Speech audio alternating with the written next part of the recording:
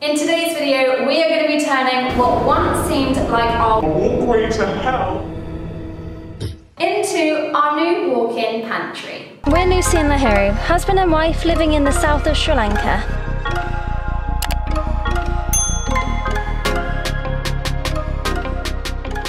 Thanks for joining us in today's video. So originally this narrow dark corridor led to a squat hole toilet. Come on in to the worst room in the house, the toilet. As you can see, it's not the nicest of toilets. The ceiling is really low, it's really dark, the building work, it's like an extension, it's not great. So this has to go. Now I have nothing against squat hole toilets, but this one in particular was just my worst nightmare when we bought this house. It was dark, damp, dingy, it was full of creepy crawlies, it was just it just had to go. And then the plan for the future is all this building is going to be knocked down. So when we started to change the layout of our home, we knew that the horrid toilet area had to be knocked down. And we had a whole lot of fun doing so. Like seriously, this is how we used to shower every day.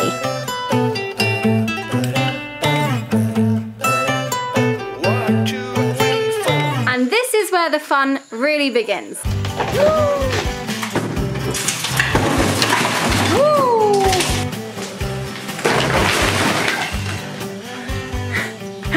We've knocked it down and we've blocked it up. So this, we now have this random small narrow area in our home. And then we were left thinking, what do we now do with this small narrow space that leads to nothing?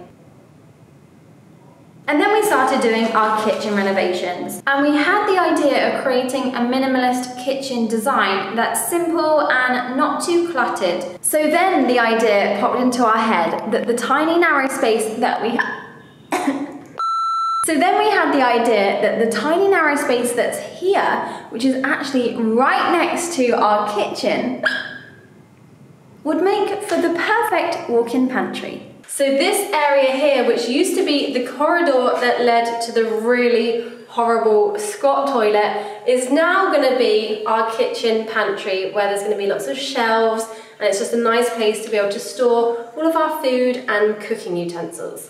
That is the plan. So the first job was to install the electrics. We needed to add a light to this area and then we could get the plasterwork started.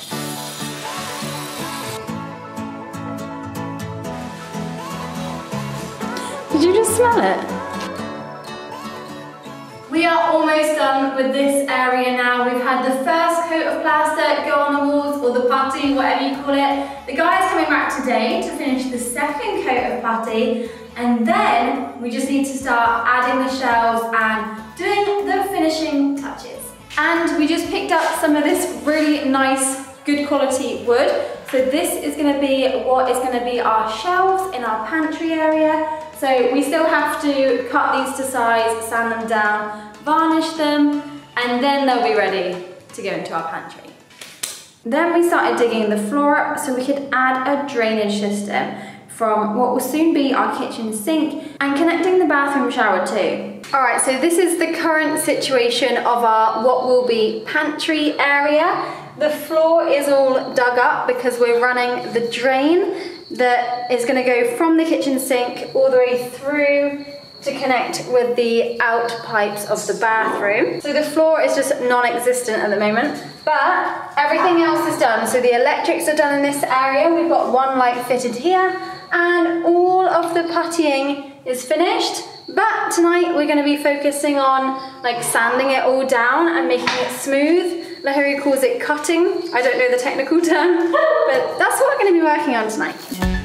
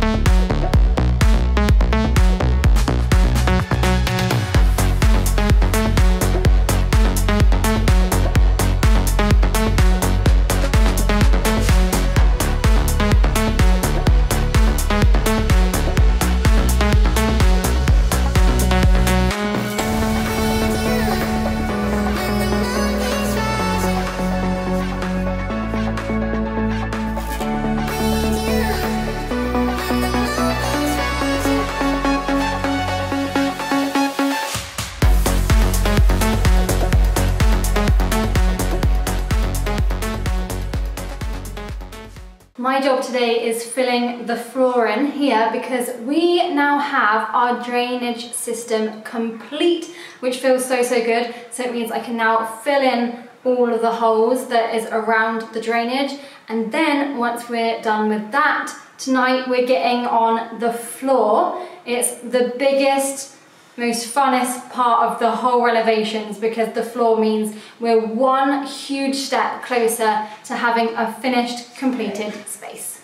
And the drainage system is not something I'd ever thought about before, especially when starting our renovations and our pantry kitchen renovations in particular. The only time you really think about the drainage is when you don't have any drainage and it's so uncomfortable to not have a proper drainage system because it just means your grey waste is just lying around the place, whether it's your shower water, your washing machine water. I know that sounds kind of gross, but at this point it doesn't really gross us out very much, but it may freak you out a little bit. Um, but having a drainage system that is complete and you can see it working is just the best feeling ever. And I keep saying it, but that's what's so amazing about doing our own house renovations is that we get to appreciate the little things so much more than if we just have like a brand new place that we didn't participate in creating. You know, it's these little things like having fresh running water, having hot water, having a drainage system, having a toilet, um, we really are so grateful for having these basic things in our house. Yeah, it just makes us appreciate things so much more. Ah, honey, honey. Okay, so Eppa, that area. It's so funny when it's just me and Ranji doing a job in the day. Lahiru's at work today at the sanctuary, so it's just me and Ranji here and our communication is hilarious. Like, we don't understand what each other are saying, and we try to speak each other's language, but it's not, it doesn't work very well. So, our way of translating today is when I'm doing work, he'll tell me puluang in an area that I can do something, and epa in an area that I can't do something. So, epa means like stop, don't do something here. Puluang is I can do something in this area. So I will glue on the drainage area now.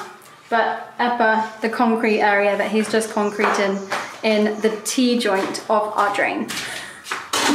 I'm so confused. Howdy Ranji, Matawada. I'm just gonna go for it.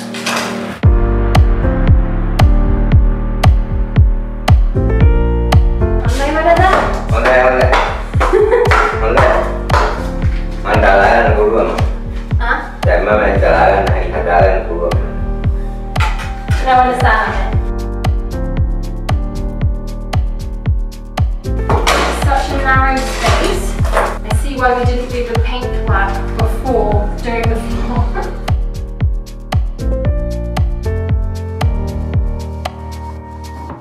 Dalam duluan. Ya, mak boleh jalan. Enggak. Honey? Parah nih, Pak.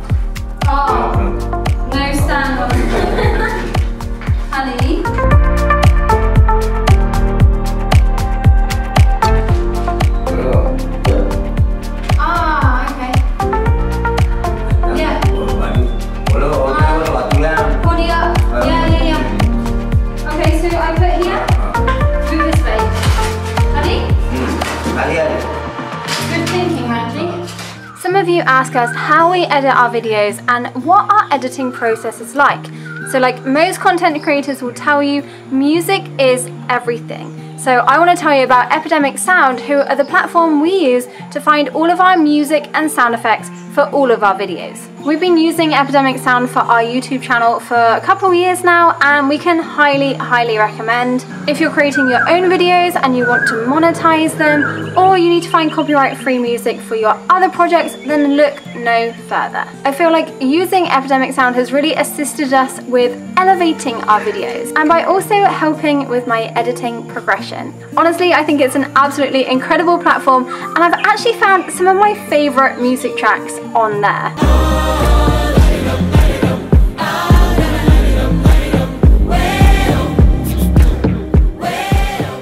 It's like we're in paradise, like we're in paradise, yeah. The website is super easy to navigate and once you've created your account and you're finding and downloading and listening to the music there, it remembers what you like. So it helps your YouTube channel or whatever videos you're creating to stick to a certain style. I love looking through what Epidemic Sound are recommending for me and our YouTube channel. It's probably my favorite part of the editing and just going through that and seeing what fits with the kind of video that I'm making at the time. There are over 40,000 music tracks to choose from and you can filter through by genre, theme or mood. And there's over 90,000 sound effects to choose from also. And another great thing about Epidemic Sound is you're not tied into a contract. You can cancel anytime. So if you want to try it out for yourself, we'll leave the link in the description box below. And with that, you'll also get a 30 day free trial. Wow, sorry about the sweat dripping off my face. It's so hot today. And Shoveling all this mud in this small space was actually a lot harder than it looks. But I just said to Ranji that we need to take these nails down. I don't know if you can see them up there. Uh, because they are ugly, they're ketai and we don't need them. And then I thought it'd be a really good idea to paint them and then hang the brown rope, like the rusticy style rope, off of them and hang this piece of, is like really old kurundu, cinnamon, that I found in our garden, and hang this on the wall, like that. Be lush for like hanging our little tea towels for the kitchen, or I don't know what else, maybe some house plants, I don't know. I think that will look really nice in this space. It'll keep it with that rusticy vibe, so I think we're gonna do that. I just need to buy some brown rope, the twine, and I'm gonna sand it down now. I think it'll be, yeah, that's nice, see, it's soft. Mm -hmm. It's not the best sandpaper, but. Ah! Oh, Sunday. Yeah, it's nice when you start shaving it down. Huh? Yeah, kurundu.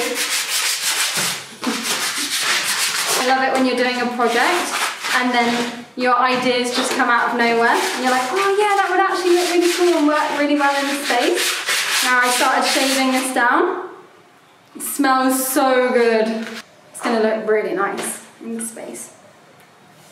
Mmm. Good idea, Lucie.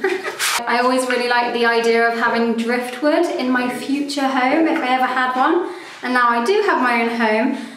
Driftwood is not something we can really easily get here, I don't think. Like, you don't really see lots of nice pieces of wood washed up on the beaches here, just a whole load of plastic. Whereas in England, you go on the beaches, there's really nice pieces of wood that is really worn down by the ocean and really nice and decorative in a house. But here we can't really get that, but instead we can get nice pieces of cinnamon and other pieces of really lovely wood. So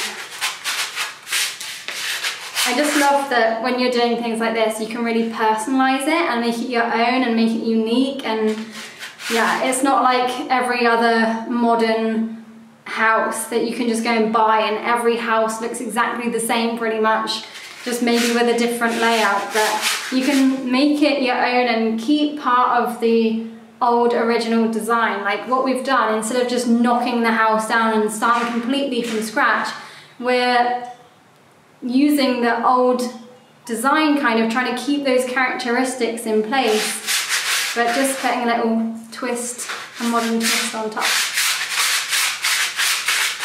Plus we only renovated half of our house, the other half is still falling down.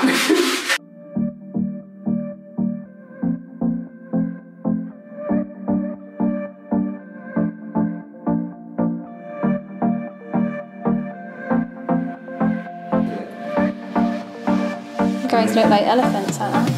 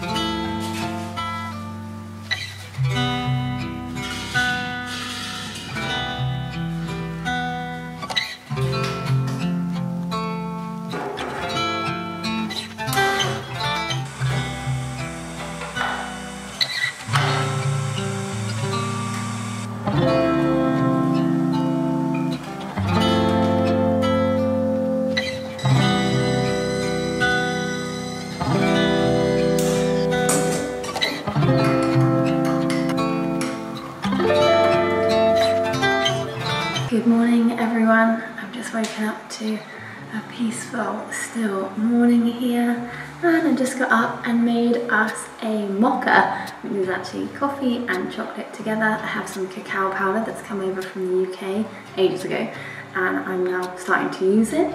Um, so I've made it in our coffee today, a nice mocha, and I'm going to be using it in Lahiru's birthday cake because it's his birthday today also. But we've got some big plans for today because we're going to be finishing our pantry area. It's so close to being finished. We've actually just finished this floor. It's not finished, but we started the floor. Um, so we did that last night. We had all the guys over and they were helping us to get the first layer of concrete down. Today we're going to be finishing that pantry area, which is really exciting because then we can actually start moving all of our things in there. It's my Mahira's birthday, so it's a special day.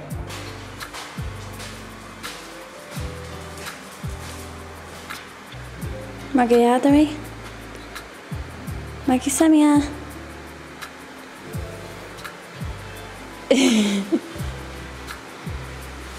Coffee have. Thank you, Mogi Ah, it's a special kind of coffee. It's got chocolate in it.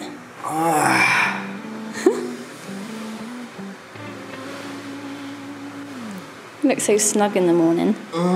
Okay, we have had a couple of hours lie-in. Um, well, I've been doing some work and planning for next year's exciting things to happen, which I'm super stoked about. But anyway, that's for a different time. Two hours later, it's now just gone 10 o'clock, and we're now cracking on with the first job. So my first job of the day, I am doing the painting in our pantry area, whilst Lahiru is organising the shelves and getting them sanded and varnished. So let's go.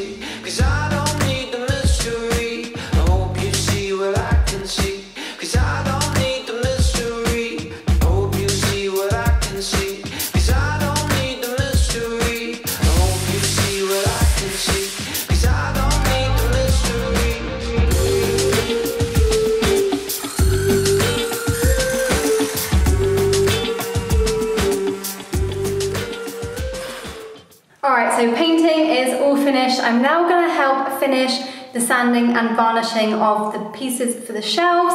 And then whilst we're waiting for all that to dry, we're going to head out, go get the ingredients for the birthday cake, go grab some lunch, and maybe head to the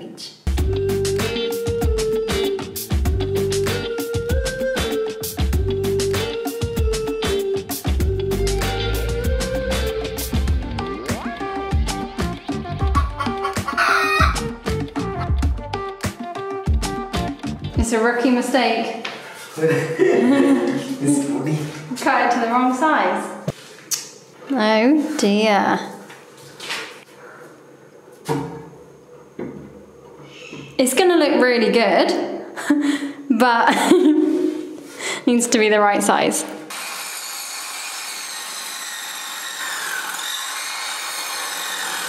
You're really good at these things, but you're really disorganized as well. That's why I do all the cleaning and all the organizing in our relationship. Yes. Okay, this is gonna take a lot longer than I thought it would. so I've just been looking around the rooms of our house to try and find the leveler so we can get the exact level we need for the shelves. But I haven't been able to find it anywhere. So, Lahiru just had the most amazing idea. It's his idea. He just wanted me to let you know because I don't ever think of these things.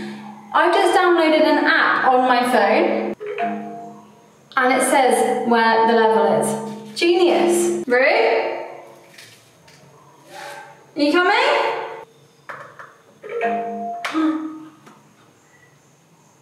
Oh my god, this is insane. Look at that. Look at that. That's amazing. Technology is amazing. Mm. Alright, so whilst Lahiru is sorting out our shelves for the pantry area, we need to get those up before we can completely finish it. I'm gonna start making the birthday cake because it's gonna take quite a while to make. The thing is, I don't think I have all the ingredients I need, and I don't have like a device to measure things, like I don't have a jug or I don't have those cup things. So I'm just gonna wing it as always. And I rarely, rarely cook. I've not cooked in months and months and months. But now that we are almost there with our kitchen renovation, it's still got a little bit of a way to go, but I feel way more comfortable to actually cook things. So I hope in the near future can start cooking a lot more. We can have really healthy meals, a lot more cakes. Two cups of flour. Gonna add coffee to it as well. We're cheating for today's recipe because we're not making our own homemade coconut milk. We're buying it in a tin. All right, so what have I put in here? Flour, cacao powder, baking powder, baking soda, and sugar and salt. Now I'm gonna mix it all together. By the way, I haven't sieved any of this because we don't have a sieve. One shelf is in, three more to go. Good job, bro. Yeah, that's it. Oh, it's gonna look so good.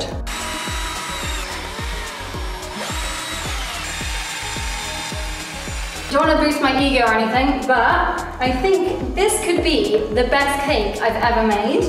I haven't made that many cakes, but all the cakes I make are all right. Like they're just fine. But this one, this one tastes amazing. And we haven't even baked it yet. Oh, and also we don't have any cake tins. So I'm just using this baking tray, which I got from England, which I absolutely love. But I think you just don't need that many kitchen supplies. Like you can just use multi-purpose things. Wow, this smells so good. For saying I don't know what I'm doing, I'm pretty chuffed with that. Look at that. Okay, I'm gonna put it in the oven. Do you wanna lick the spoon? It's the tradition. The birthday boy gets to lick the birthday spoon. I don't know if you can see that, but our cake has doubled in size. Wow! My cake just had a disaster.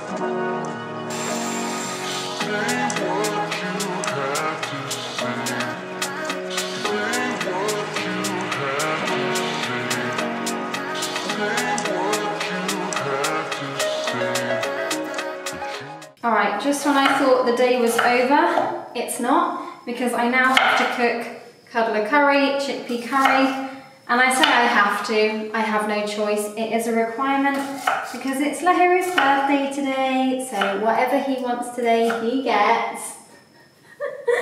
I would have just been satisfied with the chocolate cake, but no, he wants kadala curry. So I'm just gonna make super simple with just onions, garlic powder and spinach from our garden because our spinach is growing so good at the moment. I'm so happy. It would be amazing if we could just have an unlimited source of spinach. So that's going in and then coconut milk and I don't know what else. Maybe some curry powder, turmeric, salt, pepper.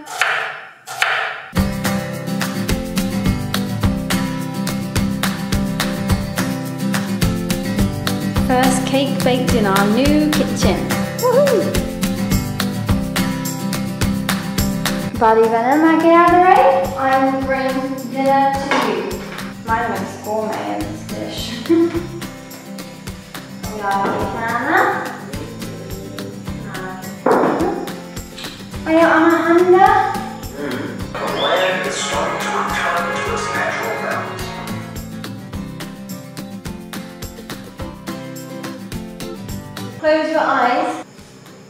Happy birthday to you. You can open your eyes. Happy birthday to oh, you. Please. Happy birthday, my gathering. Happy birthday to you. You. yeah, I get my piece. Oh, please. With me. Ooh. Low. The not so nice one, mine fell over. okay, taste test. How is your chocolate birthday cake? With mango.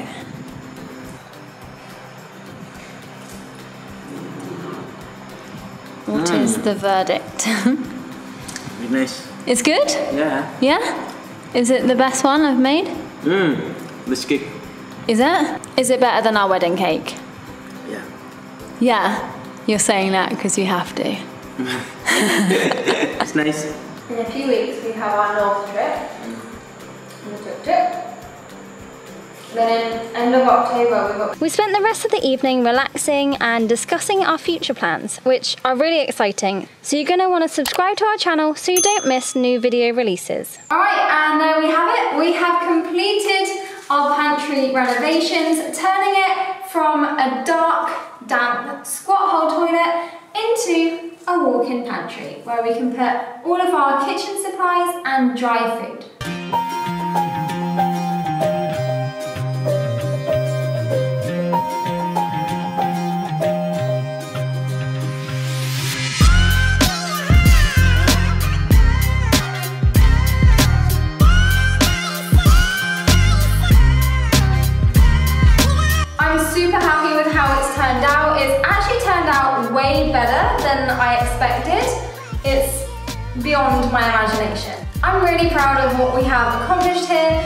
Obviously with help of professionals because we want to do a good job, but it's so nice to be able to do projects and put our finishing touches on it and our own like design. And I'd be really interested in knowing what you would do if you had a small narrow space like this one.